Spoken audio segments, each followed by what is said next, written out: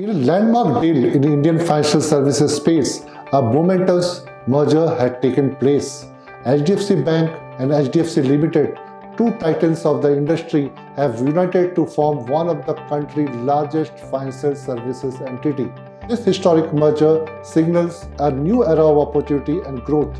The merged entity is ready to seize the moment, confident in its ability to maintain long-term profitability with high teen growth the bank has wasted no time embarking on an accelerated expansion journey, investing heavily in its branch and distribution network and embracing cutting edge technology. This strategic move aims to secure a sustained market share gain in the years to come. With a large and expanding distribution network, a strong customer base, robust capitalization, and impeccable asset quality, the merged firm is perfectly positioned to capture significant growth. And the timing could not have been better.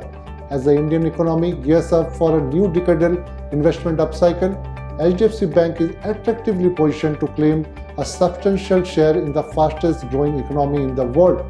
Bank Future Ready approach is driven by customer acquisition, increased productivity gain, and cost reduction through technology investment and cross-selling of diverse range of product. This factor will fuel sustainable growth in the medium to long term. The macro outlook is quite supportive, ensuring strong asset quality and lower credit cost in the near to medium term, and this will offset the upfront expansion and integration cost associated with the merger. At the current valuation, the bank traded at 2.5 times and 2.2 times is FY24 and FY25 core book value, which we believe is lower than the historical valuation. Investor seeking long-term investment opportunity and a consistent compounder will find HDFC Bank an attractive addition to their investment portfolios. We have a buy rating on the stock and one-year target price is 2100. We firmly believe in the bank potential in the coming year.